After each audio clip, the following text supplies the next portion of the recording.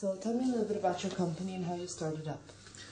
Uh, as you know, um, my company name is Middle East and North Africa Traders FZC. I have actually two companies. So one is Middle East and North Africa Traders FZC, and the other one is Al Borj FZC. So MENA Traders is only focusing um, trading sector, and Al Borj FZC is taking care of the services sector. I mean, there are three kind of nature of business. One is manufacturing, the second is trading and serve, and the third one is services.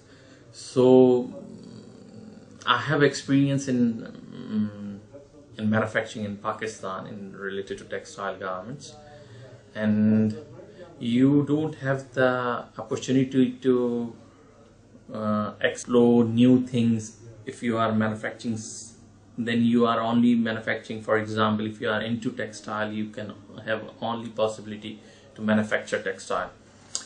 But my nature is i want to learn more new things every day doing research on different items. So trading is the only kind of nature of business where you have opportunity to learn everyday new things.